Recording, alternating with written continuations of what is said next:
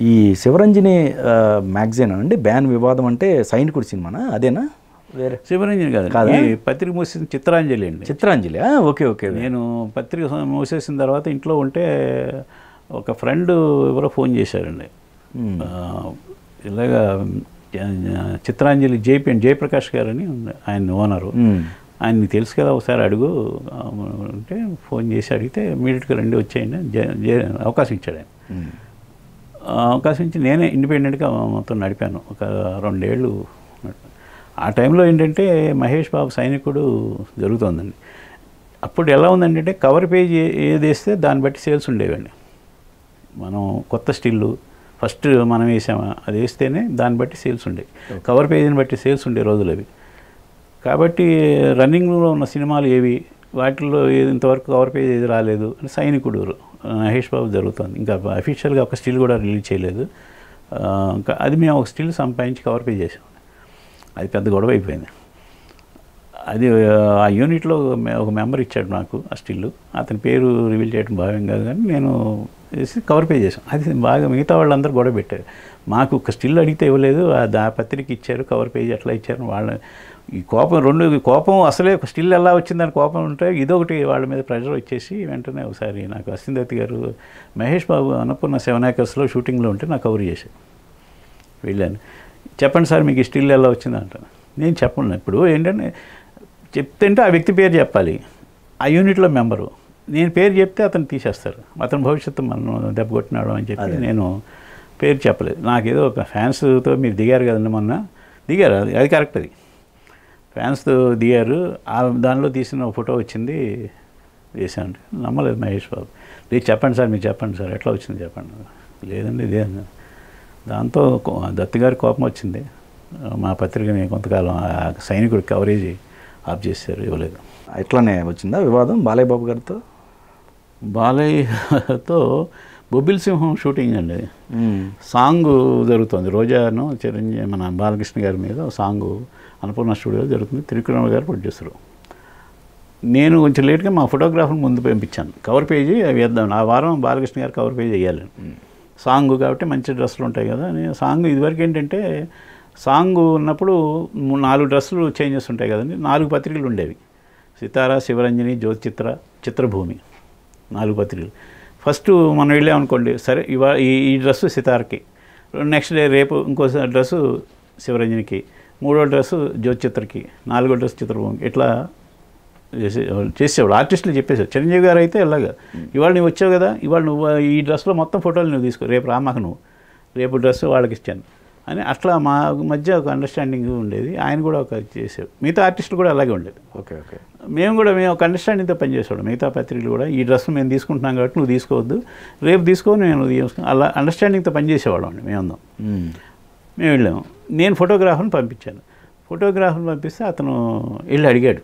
నేను వచ్చే ముందే జరిగింది ఇది. ఏంటంటే అతను వెళ్ళి అడిగాడు ఏమనన్నాడు బాలకృష్ణ గారు. నాకు ఆ విషయం చెప్పలా మా ఫోటోగ్రాఫర్ చెప్పకుండా అయితే నువ్వు వెళ్ళి అడుగు అన్నాడు. ఆయన మూడు బాగాలేదు ఆ రోజు బాలయ్య గారు.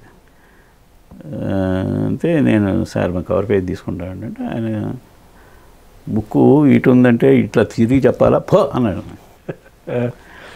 నేను రోజా పక్కన ఉంది రోజా బాగా మేము తనుగా ఉన్నాడు చాలా ఫీల్ అయిపోయాం.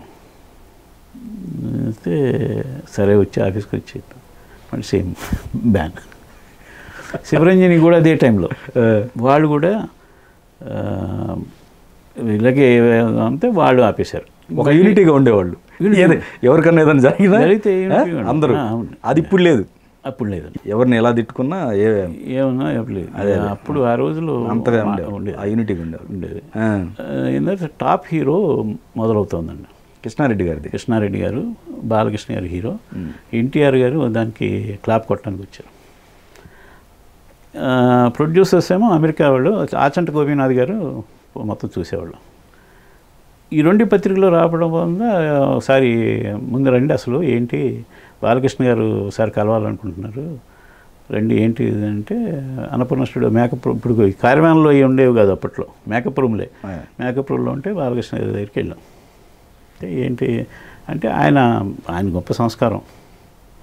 ఏదో ఆవేశం లేదని ఉంటాను దాని గురించి మీరు పట్టించుకోవాలా? వదిలేసింది అని అంటే అన్నాడు. సర్లే sir వదిలేం next day top hero coverages అట్లాగే చిన్న చిన్న ఇప్పుడు అవి మేము మనసులో పెట్టుకో వాళ్ళు కూడా మనసులో పెట్టుకునేవాళ్ళు కాదండి. Okay okay. ఇప్పుడు ఆ టైంలో వాళ్ళ మూడ్ ఇప్పుడు ఏంటంటే ఆర్టిస్టు రకరకాల మూడ్స్ ఉంటాయండి. సెట్లో ఉన్నప్పుడు. అవన్నీ మనం గుర్తించుకుని వెళ్ళి చేయాలి. డైరెక్ట్గా అందుకని ఇప్పుడు ఒక రకంగా చెప్పాలంటే ఇప్పుడు షూటింగ్కి రానికపోవడానికి కూడా కారణం ఏంటో మాకు తెలియట్లేదు కానీ ఇప్పుడు మేము అంత ఆర్టిస్ట్ మూడ్ బాగాలేదంటే వెనక్కి వచ్చేసేవాడు అండి. మాట్లాడే పరిస్థితుల్లో లేదు అంటే అర్థం చేసుకుని మనం వచ్చేసేవాడు అది గ్రహించాలి. జర్నలిస్ట్ అనేవాడు సెట్లోకి వెళ్ళినప్పుడు ఆర్టిస్ట్ ఎలా ఉంది మన ఫోటో ఎందుకంటే ఫోటో ఇవ్వాలి మంచి ఫోటో కవర్ పే చేస్తే మనకి సేల్స్ బాగుంటాయి. అవి అప్పట్లో. అదే అది. మనం ఆర్టిస్ట్ గ్రహించాలి. గ్రహించకుండా మనం చేస్తే ఇలాంటివి జరుగుతుంటాయి. మనం ఇప్పుడు ఎవరొకళ్ళు ఇప్పుడు నేను ఆ విషయాన్ని నా దారిలో నా దగ్గర దాచేసుకుని ఆఫీస్కి చెప్పకుండా ఉంటే ఏం ఉండేది కాదు. రెండో రోజుకి ఆయన మళ్ళీ మామూలు ఏమో ఉమ్. నేను ఆవేశపడటం ఆయన అంటాం దాంట్లో రెండు కొంచెం ఇక పెద్ద ఇష్యూ అయిపోయింది. ఓకే ఒక రెండు మూడు నెలలు కవరేజ్ లేకుండా. అంత అగ్రెసివ్గా ఉండబట్టే బయటకు వచ్చిన తర్వాత మీకు ప్రోత్సాహం రావడానికి కొంచెం లేట్ అయిందా అని అంటే కారణం అంటే వాళ్ళందరూ కొంతమంది కోఆపరేట్ చేయకనా అనుకోవచ్చా? లేకపోతే ఎలా చూసుకోవచ్చు ఇది? అట్లా ఏం లేదు. అలా ఏం లేదు. అంటే ఆ బిఫోర్ అలా ఉండ ఉన్నారనే అది లేదు. అదే అదే మనసులో పెట్టుకోవాలి ఎవరు? ఇండస్ట్రీ ఎప్పుడు అట్లా ఎవరు ఎవరు అలా మనసులో పెట్టుకోరండి. Okay okay. ఎందుకంటే అదే అదే జర్నలిస్ట్ ఇప్పుడు జర్నలిస్ట్ అనేవాడు ఇవాళ ఇక్కడ ఉంటాడు రేపు అక్కడ ఉంటాడు కాబట్టి మేము కూడా ఇప్పుడు ఎవరు మన పర్సనల్గా మనం ఉండదు అది. ఇండస్ట్రీలో అసలు. ఇండస్ట్రీలో కూడా అసలు ఉండదు. పర్సనల్గా గడ్జి పెట్టుకొని వీళ్ళు అప్పుడు వెళ్ళే చేశాడు కాబట్టి ఇట్లా చేద్దాం అనేది ఇండస్ట్రీలో ఎప్పుడు లేదు. రైట్ రైట్ ఎంకరేజ్మెంట్గానే ఉండేది.